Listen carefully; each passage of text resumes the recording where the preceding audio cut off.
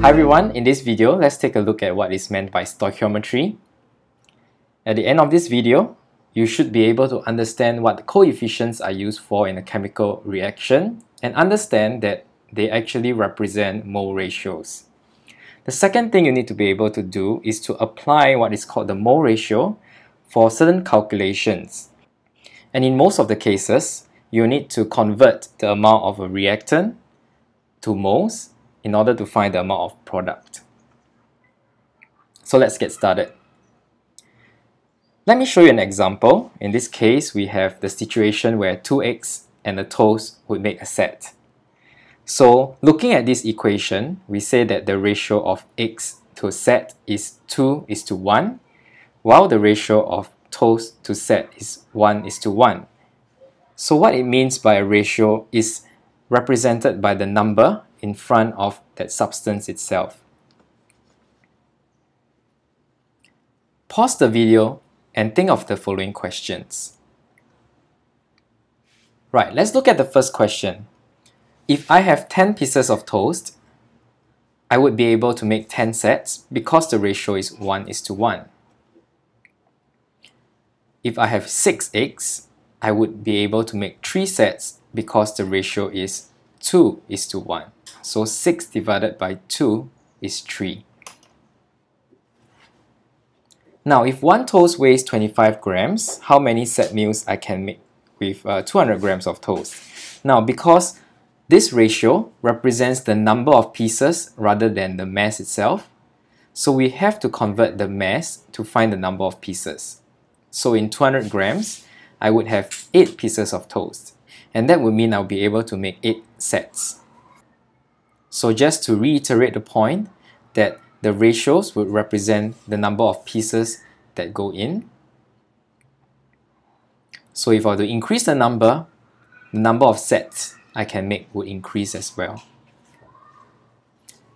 Then again, you see that these numbers that are in front, they represent the number of pieces and not the mass. We can see that 2 eggs might weigh 100 grams, a toast might weigh 25 grams. So we cannot say that the ratio is 4 is to 1. However, from this, we see that all the reactants, which are those things on the left, when I add up all the masses, it will be the same as the masses of the products. So the moral of the story is that when we compare ratios, we cannot use mass to compare the ratios. Let's go on to an actual chemical equation. In this case, the equation says that two molecules of hydrogen reacts with one molecule of oxygen to produce two molecules of water. Pause the video and think of the following questions. Let's look at the first question. How many oxygen molecules can react with 10 hydrogen molecules? So we look at the number in front, these are called the coefficients. And we see that hydrogen reacts with oxygen in a 2 is to 1 ratio. If I have 10 of these, I will need 5 oxygen molecules. Next question. How many water molecules can be made with 3 oxygen molecules? So, look at the mole ratio again. 1 is to 2 so 3 is to 6. So I can make 6 water molecules if I have 3 oxygen molecules. Last question. To make 100 water molecules, how many of each of our reactants do we need? If I need 100 water molecules, I will need 100 hydrogen molecules because they're in the ratio of 2 is to 2. And I would need 50 oxygen molecules because this is a 2 is to 1 ratio. So to sum up, to make 100 water molecules, I would need 100 hydrogen molecules and 50 oxygen molecules. So again, the numbers in front represent the number of molecules that enter the reaction and react. So likewise, if I were to increase the number, the ratio will always remain the same.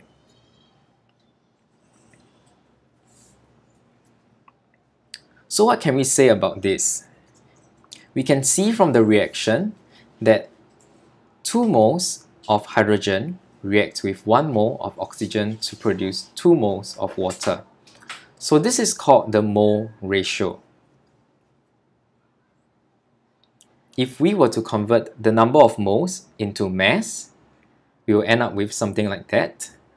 And you can see that these numbers in front 2 is to 1 do not represent the mass ratio, but they represent mole ratio. But again, we see that the mass is conserved because the total mass of the reactants will be the same as the total mass of the products. So, if I were to give you the mass of, say, hydrogen, you would be able to use this equation to find the mass of water produced.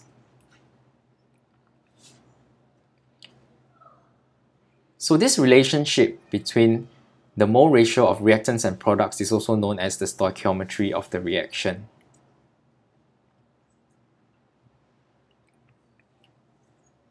Let's sum up what we have learned.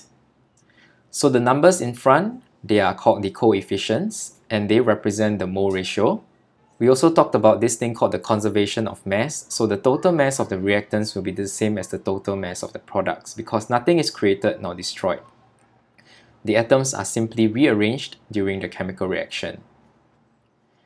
When we come to questions on calculations, there is a four-step simple method that we can follow.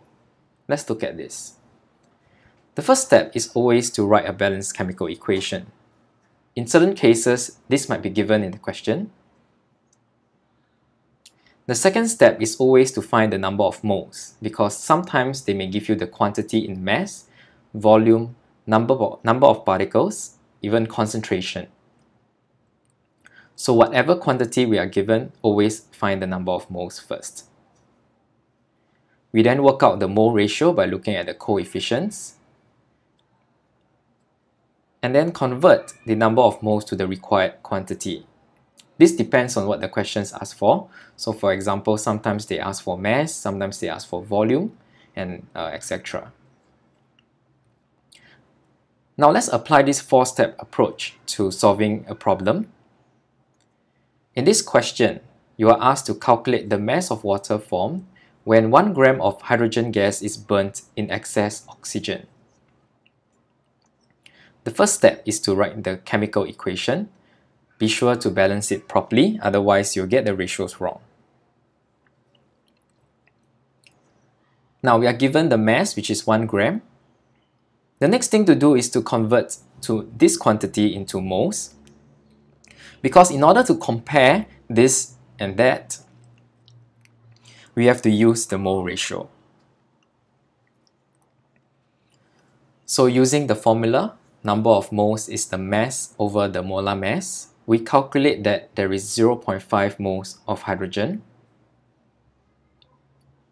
Since for every 2 moles of hydrogen, I get 2 moles of water. So 0.5 moles will give me 0.5 moles. And finally, we have to convert the number of moles into mass because the question asks for mass. So this is simply done by multiplying 0.5 times 18, which is the molar mass of water.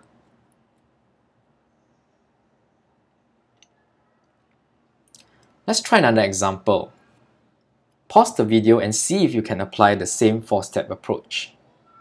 Step 1 is to write a balanced chemical equation.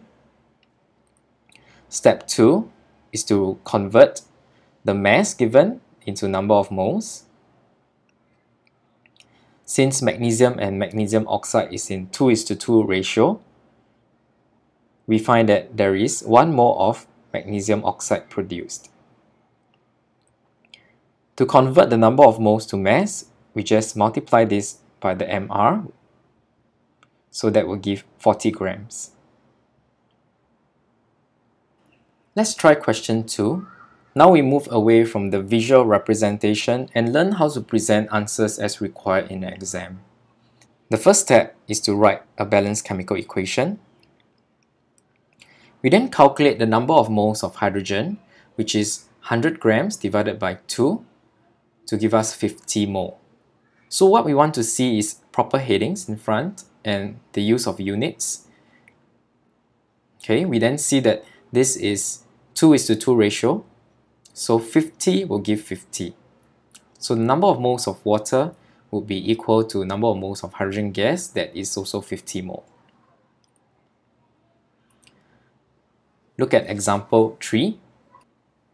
Pause the video and try this yourself. Right, the first thing to do again is to have an equation. We are given 3.42 grams of hydrated copper 2 chloride. So we first have to convert this into the number of moles. So 3.42 divided by the MR of this is 0.02 mole. Okay, in the exam, you're required to show your working for this part. With this value, let's convert the number of moles to mass by multiplying by the molar mass. So that will give us 2.7 grams. Do you get this answer correct? Okay, one more example for you. Calculate the number of moles of sodium carbonate obtained when 16.8 grams of sodium hydrogen carbonate is heated. Now the equation is given, so let's move on to the next step we first find the number of moles of NaHCO3. So number of moles is the mass 16.8 divided by the MR.